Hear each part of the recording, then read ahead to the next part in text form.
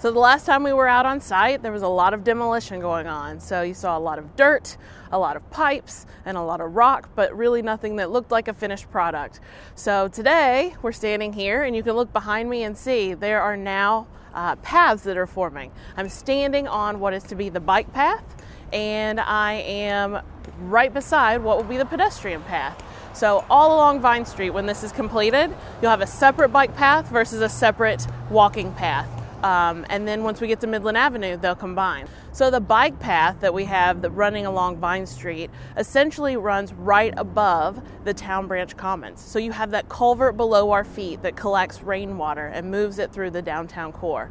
Once you're down behind Rupp Arena, um, that, that water daylights, but in the downtown core, it's right below our feet. And actually, there are a few storm features that are nearby that you'll see. Uh, those are to collect additional storm water as uh, the bioswales uh, grab that water, it cleanses it. If there's more than it can handle, you have those inlets that they can utilize as well that connects to the stormwater. There may be a misconception about us opening up the Town Branch Creek in the in the downtown corridor, but it, we're not. We're leaving it in that culvert below ground, and the reason for that is many reasons. Let me explain. One is when you look downtown, there's not a lot of room.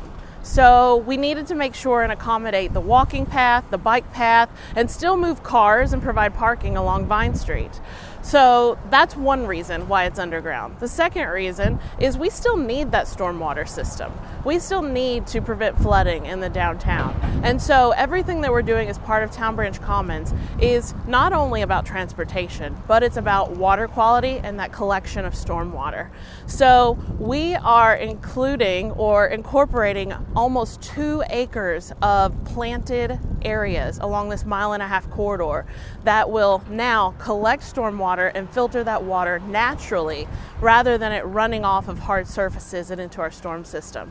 So you're still going to see or hear, I mean, the water beneath you at certain areas, at certain intervals along the path, uh, but we will not be exposing it in and along the bike path. However, that bike path and this pedestrian path goes right on top of where that stormwater is, that culvert is. So you're walking on water right downtown on top of it. So the Town Branch Commons Trail Project is being funded by num- numerous sources, including federal funds, and that requires us to monitor how we're impacting the environment. And so, obviously, we're already doing that from a water standpoint, but another way that we're monitoring is from an archaeological standpoint as we dig into the earth and we uncover what's beneath this hard surface that we've been walking and driving on, there are layers of history beneath it. And so we are required and we have hired an archaeologist to be on site. So anytime you see our guys digging, the archaeologist is there monitoring. And down on zone four, or in your all's terms, the Lexington Center site, right behind Triangle Park, the archaeologist uncovered historic historically significant items. So we'll hop down to Triangle Park here shortly and we'll talk to Bettie Kerr, our Director of Historic Preservation with the City of Lexington, and she can give us a little more detail as to what they're uncovering at Triangle Park. So, okay. We, we do know, and the, the, the, the interesting thing is the bricks, the way that they're orientated, they're, they're actually like lined up against Vine Street well, we're in a really interesting area of town adjacent to Triangle Park, and what's being uncovered through by the archaeologists are things indicative of uh, 1840s to 60s china ware and a fascinating uh, metal stove plate that is from a heating, you know, central, their main heating source.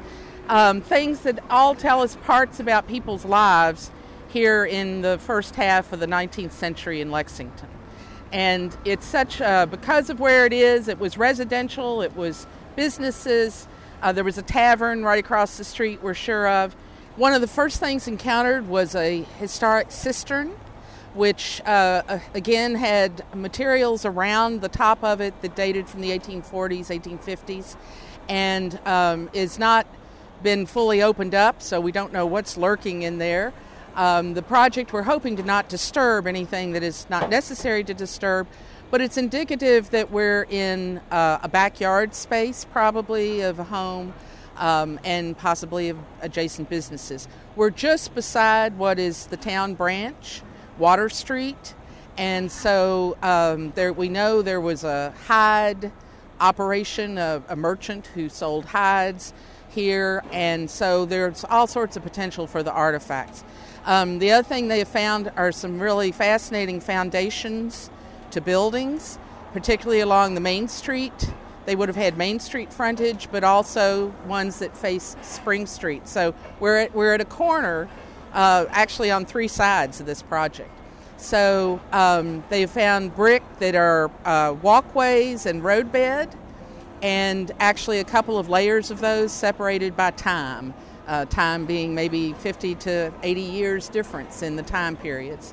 So the layering, the magic of archaeology is that it's like seeing a, an opening up a time period in history, is to see it peel back and tell us these stories through these artifacts.